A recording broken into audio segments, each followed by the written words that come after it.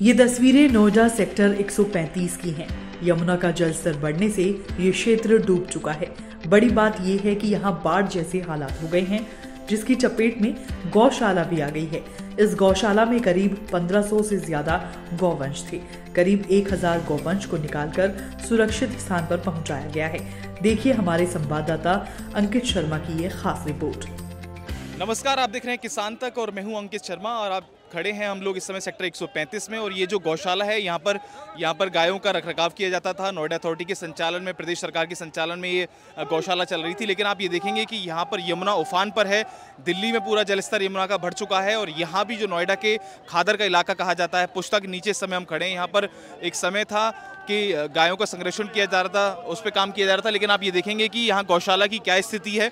अगर मैं दिखाना चाहूँ आपको तो आप ये देखिए कि गाय इसमें कितनी डूबी हुई है पानी के अंदर और जो यहाँ का, यहाँ के सफ़ाई कर्मचारी हैं और इस जो गायों का जो यहाँ पर रख रखाव करते थे, इस गौशाला का जो रख रखाव करते थे, उसका पूरा मैनेजमेंट यहाँ तक कि नोएडा अथॉरिटी के लोग, प्रशासन के लोग, शासन के लोग और ये यहाँ के लोकल गाँव वाले हैं वो भी इस समय गायों के बचाने में जुटे हैं कि किसी तरीके से इन गायों को बचाया जाए और सुरक्षित स्थान पर पहुँचाया जाए।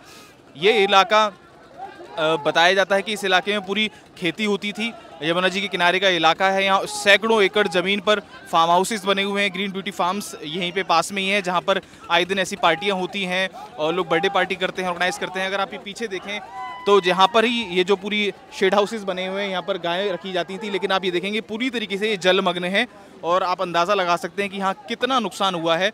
चाहे वो पशुपालन करने वाले लोग हों गायों का काम करने वाले लोग हों, भेड़ पालने वाले लोग हों, बकरी पालने वाले लोग हों, साथ ही यहाँ पर सैकड़ों एकड़ जो फ़सल है वो भी नष्ट हो चुकी है। तो आप अंदाज़ा लगा सकते हैं किस तरीके से अपने जान पर खेल के ये लोग पशुओं को बचाने का काम कर रहे हैं, गायों को बचाने का काम कर रहे हैं। राहत कार्य यहाँ पर शुरू हो चुका है। लोगों का ये मानना है कि बीते 48 घंटे में सबसे ज़्यादा यहाँ पर पानी बढ़ा है। इनको भी उतनी उम्मीद नहीं थी कि पानी इतना बढ़ जाएगा। लेकिन फिर भी लोग अपनी जान पर खेल कर यहाँ बचाए हुए हैं। बचा रहे हैं लोगों गाय को बचाने का काम कर रहे हैं। आपका नाम क्या है भैया? जी मेरा नाम प्रदीप। जी आप यहाँ पर क्या काम करते हैं? मैं यहाँ पे सफ़ाई सैनिक हूँ नोएडा सेक्टर तिरानवे में। तो लगभग कितना समय लगा इतना पानी भरने के अंदर? क्या मैनेजमेंट की तरफ़ से या शासन की तरफ़ से बताया नहीं गया था कि पानी इतना उफान पर है यमुना नदी का? जी नोएडा की प्रशासन की तरफ़ से बिल्कुल बताया गया था अधिकारियों की तरफ़ से बताया गया था कि पानी है मगर पानी का जल स्तर इतने स्पीड से बढ़ा है कि समझ नहीं पाए अधिकारी भी और सफ़ाई सैनिक भी और तुरंत में ऐसा हमें करना पड़ा कि तुरंत हमें आना पड़ा यहाँ पर अधिकारियों कहने पर और रेस्क्यू में लगे हुए हैं सारे सफ़ाई सैनिक भी आए हुए हैं सेक्टर एक सौ तिरानवे के जितने भी नोएडा में कार्यरत सफ़ाई सैनिक है सभी आए हुए हैं सभी अपनी जो योगदान है इन गायों को पशुओं को बचाने में वो लगे हुए हैं। जान माल का खतरा जो है वो तो हो ही चुका है मगर जीवन को बचाने का जो प्रयास किया जा रहा है वो कंटिन्यू किया जा रहा है आप देख भी सकते हैं। जी आपका नाम क्या है? मेरा नाम मैन प्रताप है नोएडा हेल्थ से सुपरवाइजर हूँ। जी तो लगभग कितना समय हो गया आपको यहाँ पर रेस्क्यू करते हुए और कितने पशुओं को आप बचा चुके हैं? रात को भी आया था और सुबह फिर छः बजे से आया हूँ। और यहाँ कल ही प्रशासन ने दे दिए थे लेकिन हम लोग कल ही दो ढाई सौ गाय कल निकाल ली थी और आज भी सुबह से कार्यक्रम चालू है और हज़ार गाय निकल चुकी है लगभग पंद्रह सौ गाय थी इसमें। और अभी अगर अंदर की बात की जाए क्योंकि यहाँ पर बहुत लोग पशुपालन करते हैं देसी गाय पालते हैं गिर गाय भी पाली जाती हैं साहिवाल पाली जाती हैं फार्म हाउसेज भी हैं लोगों के तो लगभग अभी कितने पशु अंदर फंसे हुए हैं क्योंकि हम तो अभी बाहर ही हैं। अभी इस गौशाला में तो आपको दिखाई दे रहा है सौ डेढ़ सौ पशु और होंगे और बाकी की जगह का जायजा लिया जाएगा। अभी गौशाला पहले देख रहे हैं। तो क्या लग रहा है? शासन प्रशासन पूरी तरीके से तत्पर है लोगों की मदद करने के लिए लोगों को बचाने के लिए? जो यहाँ के लोकल किसान हैं उनको वो भी काम कर रहे हैं इस क्षेत्र में? प्रशासन भी मदद मदद कर रहा है। यहाँ के लोग जो क्षेत्र के लोग हैं वो भी अच्छी मदद कर रहे हैं और सभी लोग लगे हुए और एक घंटे के अंदर हो सकता है जल्दी से जल्दी कार्य हो जाएगा। और पानी का क्या बताया गया प्रशासन की तरफ़ से कि पानी कम होने की उम्मीद है या अभी और बढ़ेगा पानी? अभी कोई उम्मीद पता नहीं है लेकिन हो सकता है उम्मीद शाम के टाइम हो जाएगी कम होने की। आप कुछ कह रहे थे? नोएडा के सबसे ज़्यादा यहाँ पर सफ़ाई कर्मचारी लगे हुए हैं सबसे ज़्यादा। कोई भी अंदर दिखाई दे रहा है आपको सब जितने भी सब सफ़ाई कर्मचारी हैं यहाँ पर नोएडा के अथॉरिटी के। तो आपने देखा कि समाज को सुधारने का काम जहाँ पर समाज सेवक करते हैं, वहीं अगर समाज को स्वच्छ रखने की बात आती है, सैनिटाइजेशन की बात आती है तो कहीं ना कहीं जो हमारे सफ़ाई कर्मचारी हैं, वो बहुत में बहुत बड़ा योगदान देते हैं। समय समय पर अगर ऐसी आपदा आती है तो एनडीआरएफ की टीम हुई, प्रशासन हुआ, जो लोकल क्षेत्र के लोग होते हैं, गाँव के लोग हैं समाज सेवी हैं, इसके साथ साथ जो है हमारे सफ़ाई कर्मचारी वाले भाई हैं, ये भी अपना पूर्ण योगदान दे रहे हैं। और आप देखेंगे कि इनका पूरा शरीर पानी में डूबा हुआ है। इन्हें किसी प्रकार का डर नहीं है कि कोई उन्हें सांप काट जाए या कुछ भी काट जाए। पूरी तरीके से तत्पर हैं कि यहाँ पर किसी तरीके से गायों को सुरक्षित स्थान पर पहुँचाया जाए उनकी सेवा की जाए और उनको किसी प्रकार की परेशानी ना हो। तो आज 135 गौशाला से हम थे यहाँ की जो गौशाला है वहाँ से पूरी रिपोर्ट आपको दिखाई किसान तक चैनल के माध्यम से। हम पूरी कवरेज यहाँ पर करेंगे और आपको दिखाएँगे यहाँ का हाल। खेती बाड़ी और मौसम की खबरों के लिए देखते रहिए किसान तक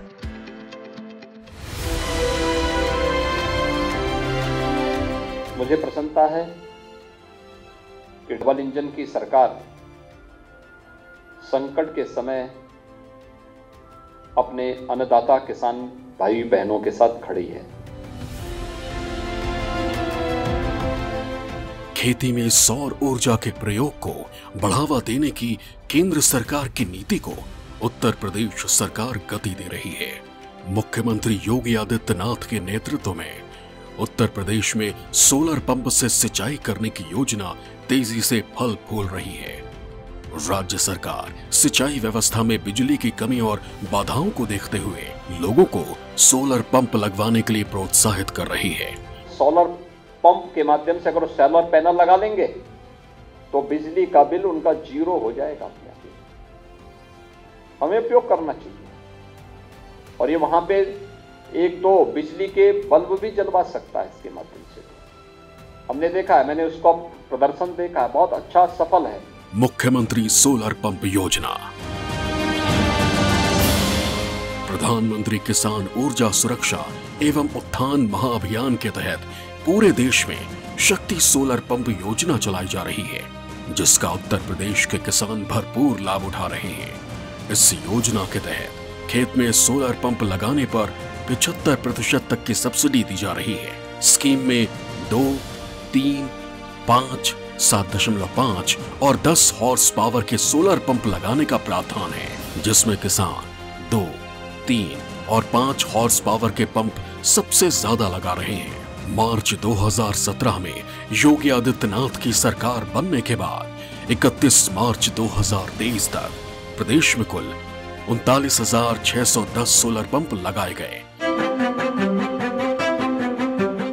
सर, हम अपने कृषि केंद्र पर जाते थे और वहीं पर हमें पता चला वैज्ञानिकों द्वारा कि मतलब कि इसे सिंचाई में सुविधा होती है और हमें बिजली के बिल से मुक्ति मुक्ति मिलेगी और हमें फ्री में पानी मिल जाएगा। तो हमने सोचा कि कैसे लगवाएँ? तो वहीं पर गए तो वो लोग बोले, बताए इसके विषय में। और वहीं से जानकारी लेकर के हमने इसे लगवाया है। लागत में कमी आया क्योंकि हमें तो कास्ट बिजली का कास्ट से बचत हो गई। सर, कोई टेंशन नहीं है अब। चाहे हवा रहे, पानी रहे, बिजली जाए, आए, कोई मतलब नहीं है। हमारा जब जी चाहेगा, हम चला लेंगे इसे। सोलर पंप योजना का मुख्य उद्देश्य है खेती में वैकल्पिक ऊर्जा के उपयोग को बढ़ावा देना। किसान सिंचाई के लिए बिजली, पेट्रोल और डीजल के पंप सेट पर निर्भर रहते हैं। लेकिन सोलर पंप के प्रयोग से उनकी ये निर्भरता कम होगी। और वो कम खर्च में अपने खेतों में सिंचाई कर सकते हैं। सरकार की कोशिश है कि खेती में वैकल्पिक ऊर्जा के स्रोत के रूप में सोलर एनर्जी का ज़्यादा इस्तेमाल किया जाए, ताकि राज्य के किसानों की सिंचाई की समस्या दूर हो और वो कम लागत में अच्छी पैदावार कर सके। मैंने जाकर अपने नज़दीकी कृषि विज्ञान केंद्र पर पता किया तो वहाँ के कृषि अधिक उप निदेशक ने हमें बताया कि सब्सिडी पर सोलर पंप आया हुआ है। जिससे किसानों की उत्पादन क्षमता एवं बिजली की बचत के लिए आप इसको लगवा सकते हैं। तो मैंने जाकर अपना खतौनी और बैंक का पासबुक, आधार कार्ड लेकर जाकर रजिस्ट्रेशन कराया और इस योजना का लाभ पाया। सोलर पंप सिर्फ़ किसानों के लिए ही फ़ायदेमंद स्कीम नहीं है, बल्कि ये वैश्विक स्तर पर अच्छा प्रभाव डालने वाली दूरदर्शी योजना है। सोलर एनर्जी के इस्तेमाल से ऊर्जा के पारंपरिक स्रोत जैसे पेट्रोलियम और बिजली को भी बचाया जा सकता है। इसका तीसरा सबसे बड़ा फ़ायदा है कि इससे प्रदूषण में कमी आती है। इससे ये योजना विश्व स्तर पर चल रही क्लाइमेट चेंज की चिंता को भी कम कर रही है।